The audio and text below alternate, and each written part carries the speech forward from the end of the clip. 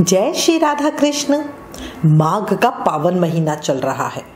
बहुत कम कर्मों से हम बहुत अधिक पुण्य अर्जित कर सकते हैं। इसलिए अभी भी मौका है, ज़्यादा से ज़्यादा इस पवित्र समय का सदुपयोग कर लो। अब आज इस वीडियो में हम आगे आने वाले व्रत त्योहारों की चर्चा करेंगे। जानेंगे कब है षट तिला एकादशी।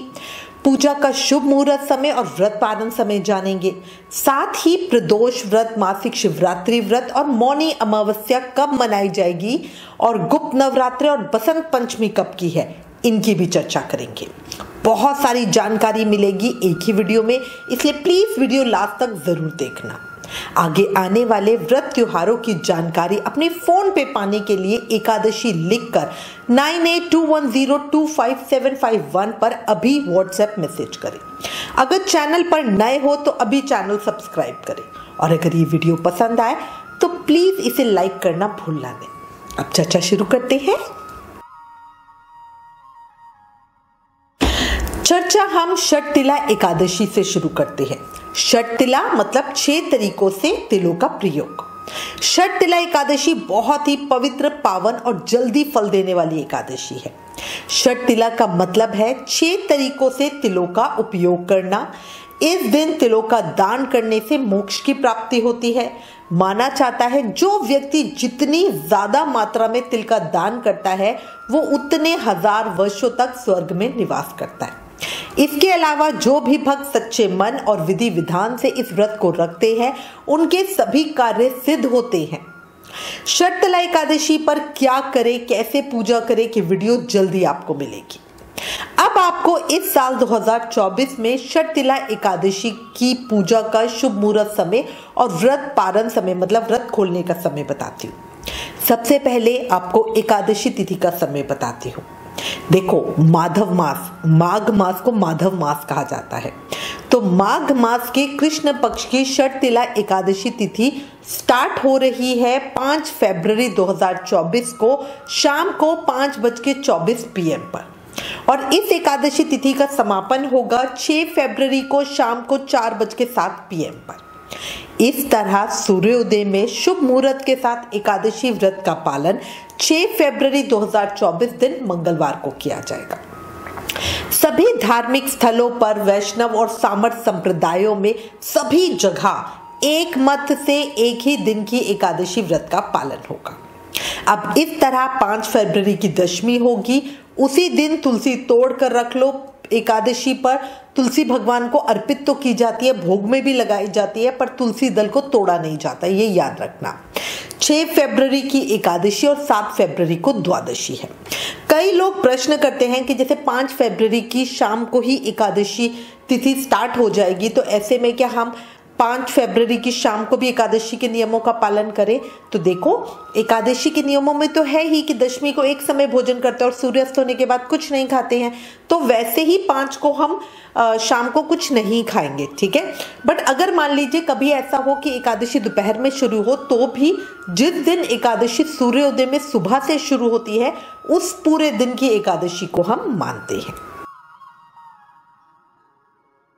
अब हम चर्चा करते हैं षट तिला एकादशी 2024 में शुभ पूजा मुहूर्त की।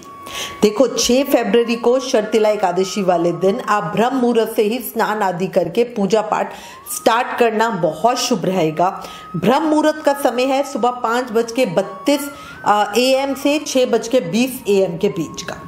अभिजीत मुहूर्त का समय है दोपहर को बारह बज के अट्ठारह मिनट से लेकर दोपहर में एक बज के दो मिनट तक का।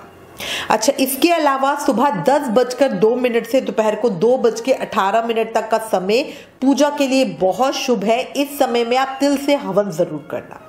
षट तिला एकादशी वाले दिन व्यघात योग सुबह से लेकर सुबह आठ बज के पचास मिनट तक रहेगा। उसके बाद से हर्षण योग है, जो अगले दिन सात फरवरी को छह बज के नौ एम तक रहेगा।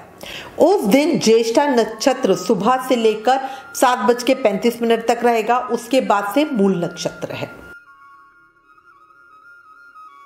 अब आपको अपने एकादशी व्रत का पारण समय मतलब व्रत खोलने का समय बताती हूँ। अपने तिला एकादशी व्रत का पारण, यानी व्रत खोलने का जो सबसे शुभ मुहूर्त समय है, वो सात फरवरी दिन बुधवार सुबह सात बज के छह एम पे मतलब सूर्य उदय होने के बाद से नौ बज के अठारह एम के बीच का होगा। कुछ संप्रदायों में ये समय नौ चौदह एम से नौ छियालीस एम का भी बताया जा रहा है। पारण तिथि के दिन द्वादशी तिथि समाप्त होने का जो समय है, वो सात फरवरी को दिन में दो बज के दो पीएम है। इसके बाद से त्रयोदशी तिथि लग जाएगी। जिन भक्तों का बुधवार का या प्रदोष व्रत होगा अगले दिन सात फरवरी को, वो अपने एकादशी व्रत का पारण करे, कैसे करेंगे, इस विषय पे हमारे चैनल पर ऑलरेडी वीडियो है। वीडियो का लिंक नीचे डिस्क्रिप्शन में दिया गया है। प्लीज़ एक बार वो वीडियो ज़रूर देखना। एकादशी के व्रत को खोलने को पारण कहते हैं। कई लोग पूछते हैं हमें कि भाई पारण कहते किसे है? तो एकादशी व्रत को खोलने को पारण कहते हैं। एकादशी व्रत के अगले दिन सूर्योदय के बाद हम अपना व्रत खोलते हैं शुभ मुहूर्त समय में। एकादशी व्रत का पारण द्वादशी तिथि खत्म होने से पहले करना बहुत ज़रूरी होता है।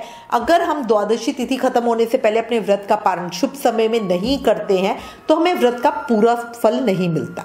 पर कभी ऐसा भी होता है कि द्वादशी तिथि सूर्योदय से पहले ही समाप्त हो गए, क्योंकि जो वैष्णव भक्त है वो द्वादशी तिथि में व्रत करते हैं।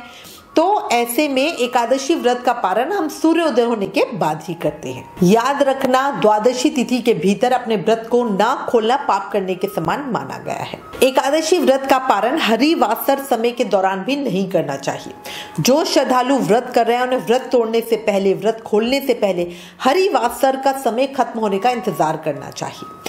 अब आप पूछोगे, हरिवासर समय होता क्या है? तो हरिवासर समय द्वादशी तिथि की पहली एक चताई अवधि होती है। व्रत खोलने के लिए ये सबसे उपयुक्त समय सूर्य उदय के बाद का ही होता है, ठीक है? अब कई लोग हमें प्रश्न करेंगे कि भाई, हमें तो नहीं पता चलती द्वादशी तिथि या हरिवासर हमें नहीं पता चलता। तो ये सारी बातें मैंने आपको सिर्फ़ जानकारी के लिए बताई है। बाकी एक लाइन में जो हम शुभ समय शुरू में बताते हैं, बस आपको वो नोट करना है कि इतने बजे सूर्योदय हो रहा है और इससे इतने समय के बीच में हमें अपना व्रत खोलना है बस। बाकी सारी गणना हमने कर रखी होती है। अब हम प्रदोष व्रत की चर्चा करते हैं। सात फरवरी दिन बुधवार को बुध प्रदोष व्रत का पालन होगा। त्रयोदशी तिथि स्टार्ट हो रही है, सात फरवरी को दिन में दो बज के दो पीएम से और त्रयोदशी तिथि का समापन होगा आठ फरवरी को सुबह ग्यारह बज के सत्रह एम पे। प्रदोष व्रत पूजा का जो शुभ मुहूर्त समय है, वो छह बज के पाँच पीएम से आठ बजे इकतालीस पीएम के बीच का है सात फरवरी को।